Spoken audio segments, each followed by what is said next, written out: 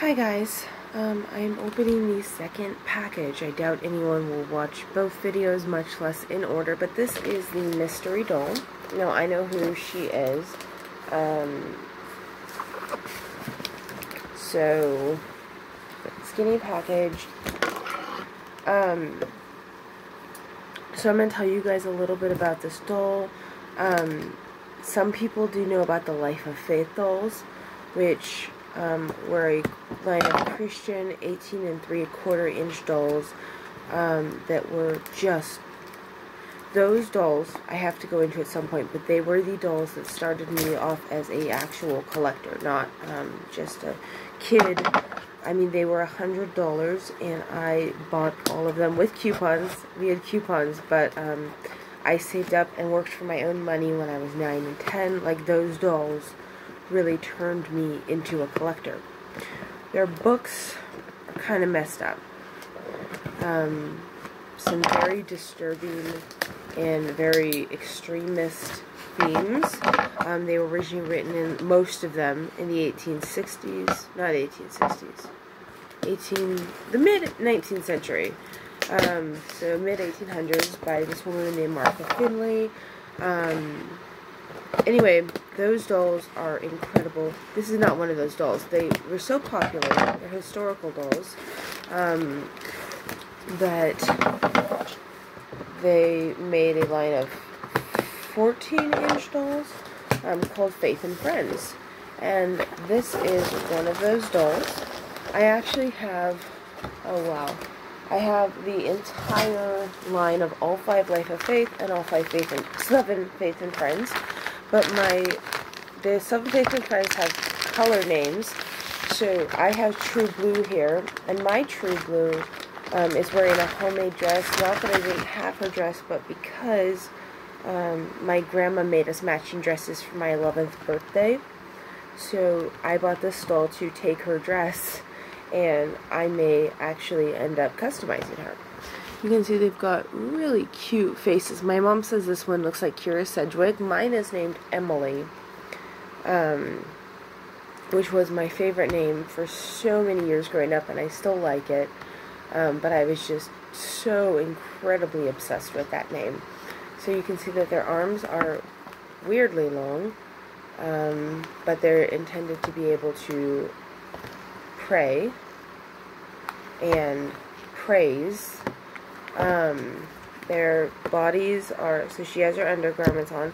Their bodies are 100% vinyl. Um, they're really nice dolls. They really genuinely are.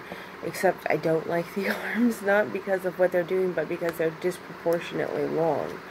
Um, but yes, I have all seven of these. I'm going to have to do a video on them at some point. Um,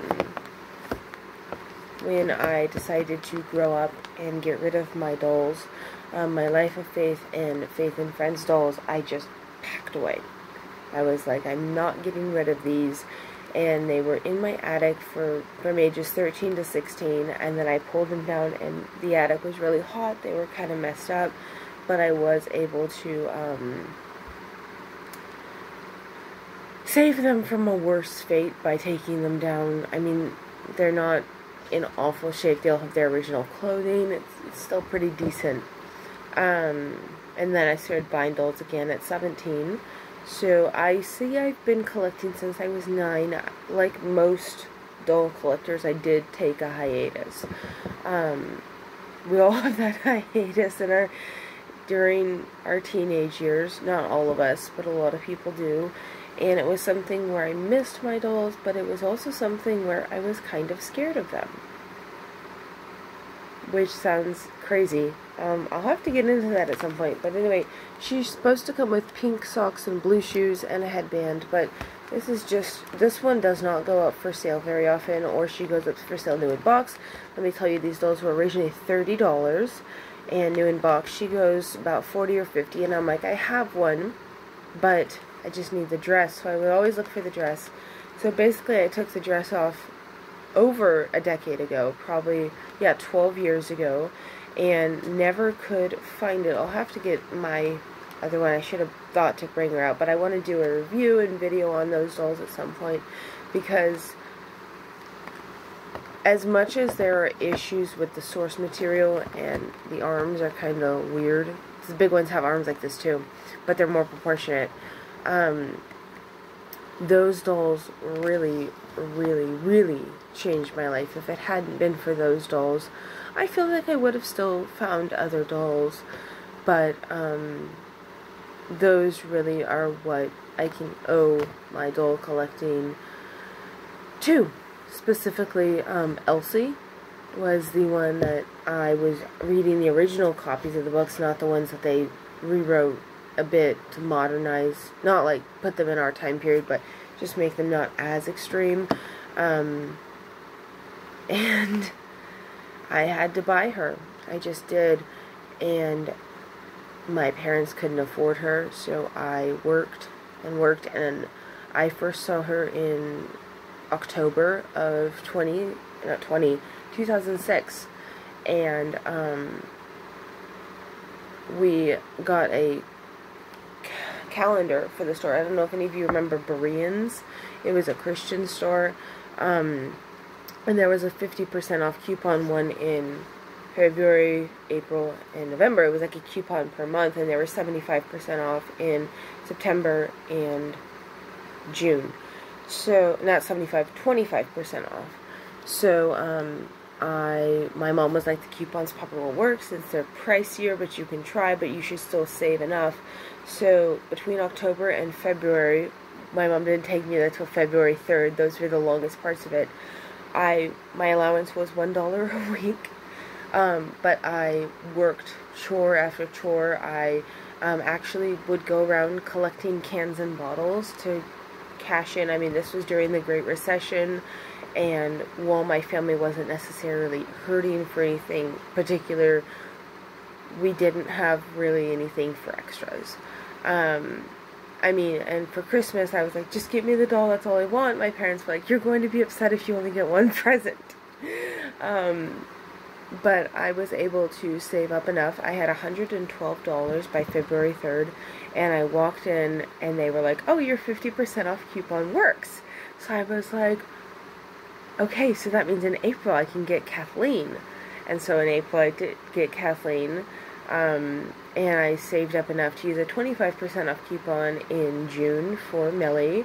In August, I did 25% off to get Violet, and in November, I completed the collection with Laylie.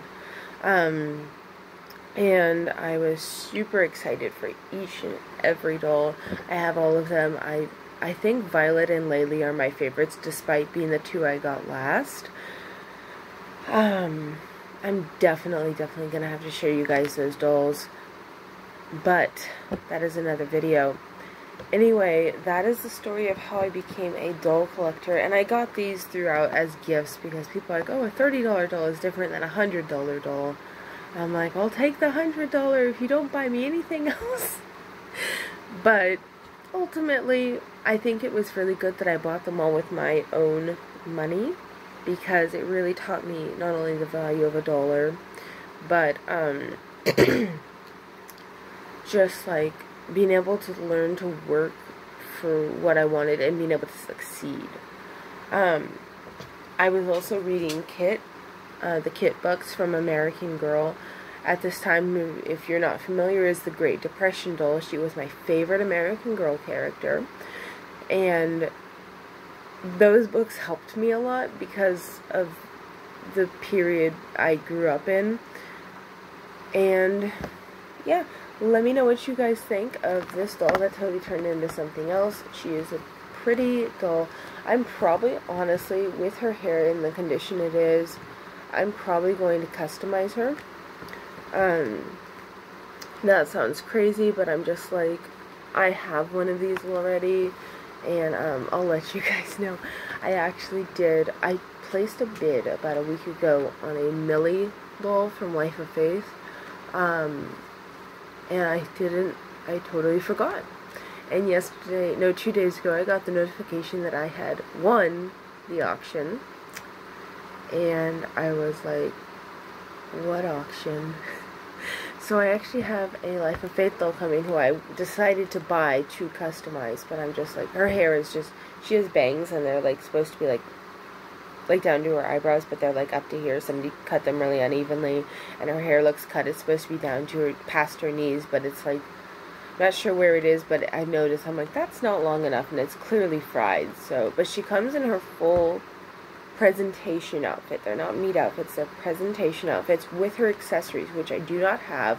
So I was like, that's worth it just for the clothing. Um, but I do have the main presentation outfit. But those outfits fetch a good price, so I can kind of win back what I paid for the doll just by selling the outfit minus the accessories um, for a fair going market rate. Alright guys, well that is the end of this video. Um, let me know what you think.